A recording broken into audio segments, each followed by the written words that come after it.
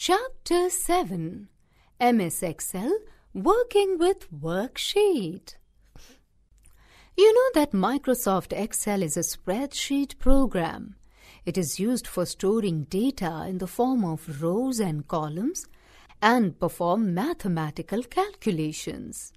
Let's learn about some important cell editing commands. Copying and moving cell contents. You know that copying refers to duplicating the data, text, numbers, and formulae in the context of MS Excel, while moving refers to move the data from its current location to another location. Copying or moving the data. Steps to copy or move the data are Select the cells that you want to copy. For example, A5 is to E6. On Home tab in Clipboard group, click on Copy to copy or Cut to move option. The moving dashed line appears around the selected cells. Move the pointer to the cell where you want to paste the data, for example A15. On Home tab in Clipboard group, click on Paste button. Copying the data in adjoining cells using mouse. Steps to copy the data using mouse pointer are Select the cells that you want to copy. Place the cursor on the bottom right corner of the selection. The cursor changes to a solid plus sign. Click and drag the mouse over the cells where you want to copy the data. Release the mouse button. The data is copied into other cells. Moving the data using mouse. Steps to move the data using mouse pointer are Select the cells that you want to move. Place the cursor on the edge of the selection selected cells. The cursor changes to a move pointer symbol. Click and drag the mouse pointer to the new location. Release the mouse button. The data is moved to the new location.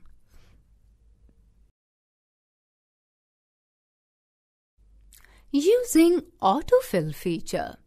Sometimes you need to enter a series of data, numbers, days, dates, etc. Then, instead of typing every entry manually, autofill option can be used. Autofill feature is used to fill a predefined series of data in adjacent cells quickly. Some of the frequently used popular series are number series, weekdays and dates series, months series.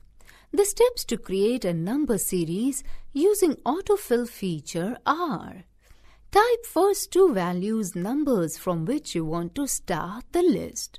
For example, type 1 and 2 in A3 and A4 cells.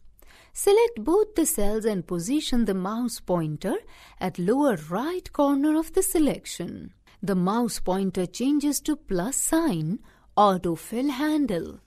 Click and drag the autofill handle to the cell till where you want to fill the list. For example, fill up to cell A12. Release the mouse button. The required series of data gets displayed.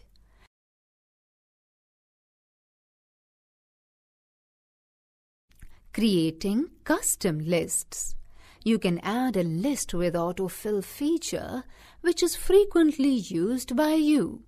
Instead of typing the list each time, you can add the list using Edit Custom Lists option and use it with autofill feature. Steps to add a list with autofill feature are Click on File tab. Go to Options. The Excel Options dialog box appears. Click on Advanced option in the left pane. The related options are displayed in the right pane. In the right pane, scroll down the page to General section and click on Edit Custom Lists button. The Custom Lists dialog box appears. In the List Entries box, type the new list. Click on Add button. The entered list appears in the Custom Lists box. Click on OK button.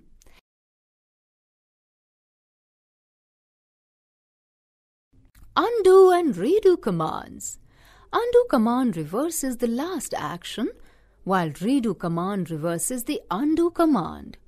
These are used in same manner as you do in MS Word. Undo and redo buttons are located on the Quick Access toolbar. Inserting cell, row, column. Blank cell, row, column can be inserted in a worksheet. Steps to insert a blank cell, row, column are Select the cell to the left above of which you want to insert a new cell.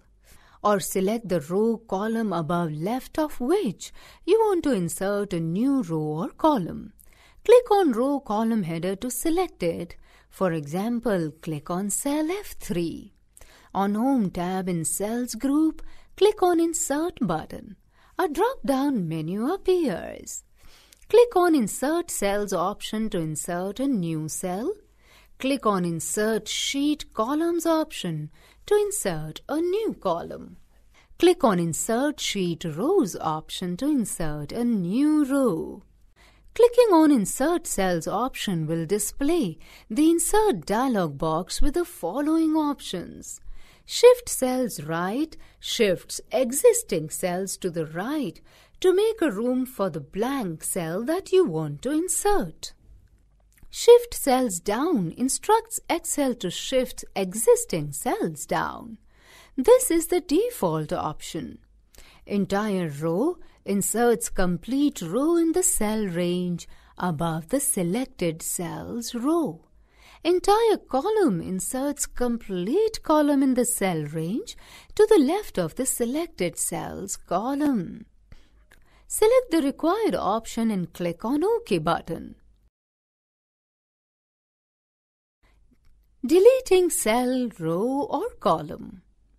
Steps to delete a cell, row or column are Select the cell, row, column that you want to delete. Click on row column header to select it. For example, click on cell C8. On Home tab in Cells group, click on Delete button. A drop-down menu appears. Click on Delete Cells option to delete the cell. Click on Delete Sheet Columns option to delete the column. Click on Delete Sheet Rows option to delete the row. Clicking on Delete Cells option will display Delete dialog box with the following options. Shift Cells Left overrides the content by shifting the data from the left cell to the selected cell. Shift Cells Up overrides the content by shifting the data from the cell below to the selected cell.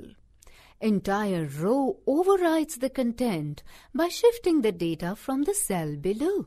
It appears that the entire row is deleted. Entire column overrides the content by shifting the data from the column on the right side of the selected cell it appears that the entire column is deleted. Select the required option and click on OK button.